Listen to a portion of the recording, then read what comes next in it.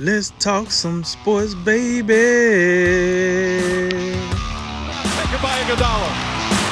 Iguodala to Curry. Back to Iguodala. Up for the layup. Oh, blocked by James.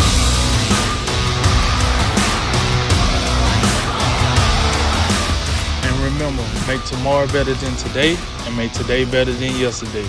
And you know what we gonna do. We gonna holler at you until next time, baby. Guys, we'll wrap up tonight with the NFC South grades. The Bucks got Tom Brady some more help. The Saints pulled an anti-Packers and actually helped their quarterback, and the Falcons and Panthers, well, they try to get back to their winning ways. So, Jay, uh, you called it right. The Panthers drafted a whole new defense. What do you think? I sure did. Uh, shout out to Matt Rhule on this one, uh, doing this thing right in his first year as head coach of the Carolina Panthers. Uh, I gave him four players coming back on this defense that uh, he should uh, retain and start with starting caliber. And sure enough, he took seven seven players in this draft, all defensive. Uh, I gave the A minus. Only reason it's not an A. Uh, I would have took Isaiah Simmons, but I'm not going to knock you but so much for picking Derrick Brown. I think he's going to be an absolute stud at this level. So yeah, you can go ahead and go out there to the practice facility. They got under uh, under construction signs on the defensive side of the field. So yeah, I I, I love what they did.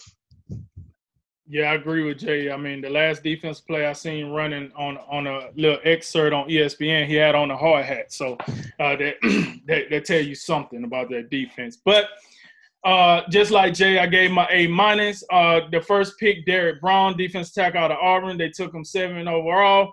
Hey, uh, a ridiculous strong and athletic guy for a defensive tackle. A superior run stopper and pass rusher. But I would say he has to improve on staying upright more. Uh, he has a tendency of being on the ground a lot because he, he he got to work on his balance. So he needs to fix that. And then uh, with the second pick, they took Yetur, Gross Mata, defense end out of Penn State with the 38 pick. Hey, he is the phototypical combination of size, athleticism, and agility. Okay, um, he has an he's a, he has adequate upfield rushing burst. His twist is fluent and fast, and um, his he, as a pro, his hands gonna need to be a little more quicker. I'm not saying that they're slow or anything, but they need to be a little little quicker. He needs to be more violent at the attack or rush. But um, with all that said, I think they got a good guy there. And then uh, Jeremy Chinn, the the safety out of Southern Illinois, they took him with the uh, 64th pick. Hey, he has the NFL size, uh, so that's good. He got length, muscle com- uh, composition. Okay, good. And uh, speed, he has good speed for sharper pursuit angles, which is number one, what you really want out of your safety for a guy to be able to do that. Um, but some some of the, the faults with him, uh, he's not as instinctive as he needs to be when you're playing on the back end of that defense. So he's gonna have to up his football IQ. It's a little below average right now. Don't sound like something the NFL can't fix. So we'll see that. And he need to eliminate the head ducking. Um, he's one of those guys that like to go head first. I'm telling you right now, you, you, you might want to go look at Ryan Shazier. This is nothing to play with. You might want to pick your head up and do some good form tackling, or that'll be the end of your career quite fast. Hmm, Yeah, I uh, like you said, Jay. I mean, they went right down the list. All new defense. Seven plus four is eleven. But yeah, you know, I was uh, singing the praises of Derrick Brown from the get go. I think he's an outstanding player, and he's going to be really good for quite a while. And I, I, like you said, I can't, I couldn't knock that pick at all. Uh, Gross Matos is a guy that I think he does have some limitation, like you said, drink. Like he doesn't have that trump card that, like, oh, this is what I'm the best at, you know. So, but at 38, that's a really solid value. I mean, if you would have taken it at 20, I'd have been like, eh, but 38, I mean, hey, if he's still there, why not? Come on down. So he should pair well across from Brian Burns, you know, and like you like you talked a lot about Jeremy Chinn, you know, he's kind of your maybe your budget Isaiah Simmons. He had a lot of that same kind of build, but it's one of those things where where does he really fit on this uh, defense? So they're going to have to take a little bit of time to figure out exactly where they want him. But they double dipped with Bravvion Roy on day three on that interior of the defensive line. That's going to help you uh, move on from Kawann Short's big contract sooner than later. So I mean, you know, down the line they drafted what they needed, and I, it's a little scary to just ignore a side of the ball completely. I don't think many teams have ever done that, but we'll see how it goes. Uh, I gave him a B plus. All right, drink. Uh, I'll get the Buccaneers up next. How you think they did with uh, Tom Brady group? Oh, you know, TBs and Gronk, you know, they went down and made an impact. But as far as, you know, what they did in the draft, hey, I gave them a, that hot steaming uh, ace kid. You know, they they they aced the draft. Um, you first they took Tristan Wirfs, the offensive tackle out of Iowa with the 13 overall pick. Once again, another Iowa guy, neither here nor there. All right, look, this guy's quick out of his stance. He get into his work. He's above he's an above average technician coming into the league, so he should only get better when when he gets more tools in his toolbox, and he has the ability to flip from right tackle to left or from left to right, whichever one you need him at, he can get the job done. The problem is he has average explosiveness at the initial contact. He got to get better with that. You're playing against grown men, not little boys, and he tends to lean to his outside foot when punching. Hey, I'm gonna tell you right now, that's gonna put you on your back a lot, and you're gonna be out here looking like Ereck Flowers when he was playing for uh, the Giants. That that ain't gonna cut it. So you're gonna have to fix that and open up your post. Then with the second pick, they took Antonio Winfield Jr., the safety out of Minnesota, with the 45th pick. A highly instinctive. He's always under control. He know how to take cues from the opposing quarterback. I like to hear that from a safety. Safety that know how to read the quarterback and see what he's trying to do. There's a chess match out there. And he his ball tracking seems to come natural. He can track that ball very well. Uh, he did, however, miss some extensive time in 2017 and 2018 due to injuries. So that is something that I'm pretty sure the Bucks looked into while you know thinking about drafting this guy. But that is one thing. If it tends to hinder him in his NFL career, we'll see. And then uh, and then also he's a he's below average when it comes to height and length on jump balls. Uh, what I have seen, um, you you can't throw the ball over his head if if you get a tall enough receiver. So I mean, there's nothing he could do about his size. I, I know maybe it's a technique out there to save him, but it's nothing he could really do about the size. Um, so with that, uh, and then with the third pick, T, uh, Ke'Shawn Vaughn, the running back out of Vanderbilt, they took him with the 76 pick. Runs with patience on outside zones, very very good. And one thing I found very interesting while doing this research, uh, he scored a touchdown every 16.5 touches at Vanderbilt. So every every time, every 16 times, basically he touched the ball, he scored a touchdown. I mean, it's Vanderbilt. Who else gonna score touchdowns for you? So you got to give him to somebody. And I guess he was the guy. Uh, he plays up to his size and his strength as a pass a pass blocker. That's probably the number one thing that uh, running back coaches look for when they get these young running backs in the NFL. They want you to be able to block. And but um, listen, his vision, his ability to create, it is gonna come as a struggle. So they're gonna have to work on him with that. Um, and listen, he got he got to learn how to move his feet faster. He he a little stiff in the in the hole. I remember Derrick Henry had this problem when he was at Alabama. He seems to have been working on it and got better. You got to be able to move those feet to get through holes a lot faster. Yeah, solid draft for me. The Bucks get a B. Uh, they traded up one spot, but they just wanted to make sure they had to upgrade this offensive line with Tom Brady coming here and there, and they did just that, getting Tristan Wirfs. I thought he was the second best offensive tackle in this draft. I really like that. The Antoine Winfield pick, I love it. Uh, that secondary was, yeah, we talked about it. Carlton Davis is the name I most recognize, and uh, that's that's not good. Uh, I'm not I'm not gonna I don't hate the Ke'Shawn Vaughn pick, but what I will tell you is I would have hoped I would have hoped I would have liked to see more picks, at least one more, to further address that secondary. I still think there's a whole lot of holes back there. So they, they did not uh, put further capital into the secondary. I don't like that. I think that's something we got to pay attention to moving forward. Uh, in the fifth round, though, I do like Tyler Johnson, another guy out of Minnesota. I like what I saw from him last year and uh, under PJ Fleck. I think he's. I think that's good value there in the fifth round. Yeah, this is a, a, draft I liked a lot. It's best in the division, in my opinion. Uh, you know, starting the pickup of Wirfs all the way down there at 13 was really good. And that's a guy that, again, could have gone top 10, and he didn't. And I doubt they thought he was going to be there. But you, protecting Brady's blind side, we all know that the best way to get to beat Tom Brady is just get to him and put him on the ground. And uh, getting the best tackles in this draft is probably the best decision the team could have made, period. Uh, you know, Winfield, like y'all said, is he's a smart, instinctive safety. He can do a little bit of everything. And like you said, that, that, that secondary, it needs an insurance policy big time. Um, I know they talked. They, they did. They had talked to the Jaguars about Fournette, but they decided to take Ke'Shawn Vaughn instead. I would. I don't know. I maybe would have been more apt to make the trade if I was Tampa Bay, given that kind of win now window they've got, instead of taking sort of a project running back that's you know could be nice, but he's like Drake said, he's got some stuff to work on.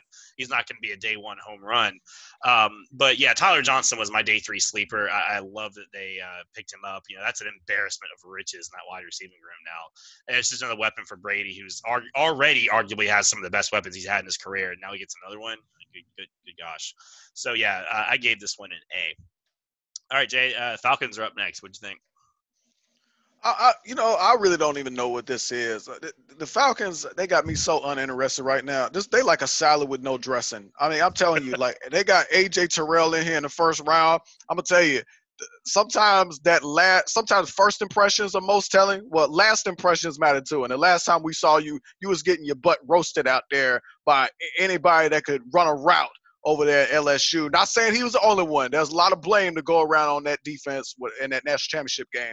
But I'm just not sold here. Uh, he was great. He, he receiving a lot of second ground raise from what I can see, and you, you picked him with the 16th overall pick. I mean, you needed help at corner. I can't knock you too much for that. But uh, biggest pick right here, I, I like the Marlon Davidson pick. I like they're going to get a little bit more physical up front. But but by and large, there, there's a lot of met to this draft, and you, you're not getting graded higher than a C with that in mind. Yeah, um yeah. That, that was good, Jay. I like that. I like that analogy. I try to eat a salad with nothing on it. Let me just tell you, that ain't it. Um, AJ Terrell, the cornerback out of Clemson, they took him 16 overall, like Jay said, bit of a reach, but hey, you need a cornerback help. Let's see if this does anything for you. He has the ability to ground on receivers from press coverage. We seen him play in high leverage, high leverage matchups in the college football playoffs some good, some not so good. Um, so you, you take that for what it's worth that you picked the dude 16 overall. I thought I ain't even gonna get into it. Um, he uh, he plays, you know, receivers in tight quarters. He disrupts their, their timing. I think that's good. But hey, to, to talk about some of the concerns, listen, he's not good with jump balls. We've seen that. Ja'Marr Chase gave him the, the pure business when Joe Burrow just threw the ball up. He I don't know why, because Ja'Marr Chase is not like crazy tall, but he got problems with handling that ball in the air. And he's a bit of an arm tackler. That ain't it. You ain't tackling with arms in the, in, in the NFL. Like you leave that crap right in college. So I can tell you right now, if he don't fix that tackling, he will. He's gonna be a first round bust. And then the second one, second pick, you got Marlon Davidson, the defensive end out of Auburn with the 47 pick. Hey, he could play standing up or he could play hands down. Now that's a little interesting because we have seen teams to try to manipulate certain things and try to make the quarterback think this is happening, that happening. So I thought that was uh, pretty unique. Um, he got nimble foot when it comes to lateral movement. That means he can move left to right, right to left pretty quick for a guy of his size. There's also something to look at. His hand usage is at the top of the, the, the rush is very efficient. He knows how to bulldoze you. He know how to get you off balance. We'll see. And but um, listen, his footwork and his contact balance is uh inconsistent. If you don't know what I mean, go back and look at his play against Alabama. Those offensive lines did kind of put him at, in bad situations a lot because his footwork wasn't quite where it needed to be, which means he lost his balance, but made it very easy to open up certain holes for Najee Harris in that game. Hey, and he don't gain big grounds once he bit once he bend that edge meaning once he bends the edge, it takes him a while to go from the edge to the quarterback. He got to speed that up a little bit to give himself more of an advantage to try to get the sack. And then with the third pick, they took Matt Hennessy, the the uh, the center out of Temple with the 78th pick. He has a consistent balance and posture and pass as a pass set. He so he can protect pretty well and passing pretty much. Um, hands are, are quite good. He's always ready to punch hey, he can hold his own against double teams, which is something you really want to see because we see some of these guys get beat in double teams, which I don't understand it, but it is what it is. And um, but look, he's he's undersized. If you actually look at him uh, compared to some of these other offensive tackles that have been drafted, he's a pretty undersized guy. Um, he's going to need to beef up a little more to you know to have the prototypical size that you would want your offensive lineman to have. And then he lacks swiftness he's stiff as a board. He's pretty much stuck in the mud if you get a defensive lineman to hit him with a twist. So he's gonna have to get a little more swift. Yeah, I mean, yeah, AJ Terrell's kind of a mixed bag at 16. I think what Atlanta really wanted to do was go get CJ Henderson, but they really couldn't get away to trade up to get what they wanted. And of course, he went off the board early. So I, can see the trades that made Terrell the third cornerback off the board in times. But yeah, you remember, like Jay said, man, he got he was put on a poster by Ja'Marr Chase, and that was just in the one game. I mean, there was probably some other ones you could point to. And you, you know, when you're talking about the going to the NFL, you're going to be playing guys like Ja'Marr Chase every week. So I, I, think with the departure of Trufant, they felt like they probably had to get a corner, and they just kind of took him. And I don't know, it's one of those picks where you feel like they kind of reached what they needed. Uh, he could still be really good. He's got a lot of intangible traits that could make him a very good NFL corner. So we'll, we'll kind of see. But for now, that pick's hard to be too high on. And you know, Marlon Davidson, you broke it down really well. Drink. He's kind of got that in between, like sort of tweener status to him. Uh, and Atlanta seems to be endlessly investing in that defensive line. But uh, between him and Dante Fowler, that pass rush should be markedly better than it was. So that's going to be hopefully a good thing for them. And um, you know, with Matt Hennessy again, like you kind of broke it down. You know, I think the offensive line at the end of the day did need some help. And when you're picking a guy in the third round, there's going to be some things you know that to work on.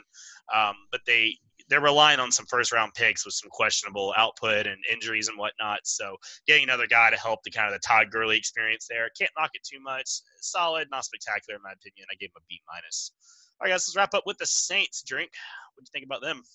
Uh, I gave the Saints a C minus. Uh, they had a solid draft. I guess it was all right. Um, with their first pick, Cesar Ruiz, the center out of Michigan, with the 24th pick. Hey, listen, he plays good. He bends well. He's good with leverage. I like that. His foot his lateral slide can can mirror anyone that's across from him. So I, I, I also like that. He has clear eyes. He can identify most pre and post uh, matchup danger.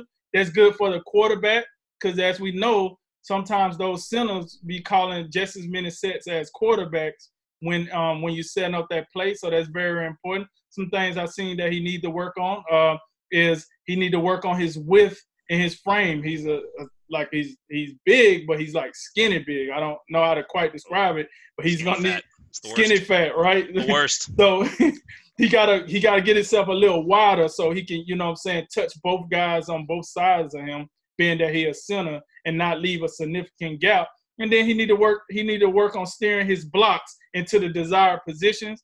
Cause I guess he got a habit of steering the blocks the wrong way that probably ends up in the sack when you usually do that. So he needs to work on that.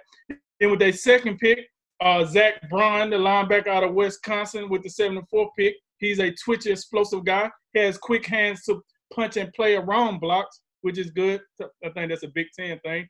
And he has good uh, tackling range with speed to go with it. Now, what does he need to work on? I just said he got good tackling range.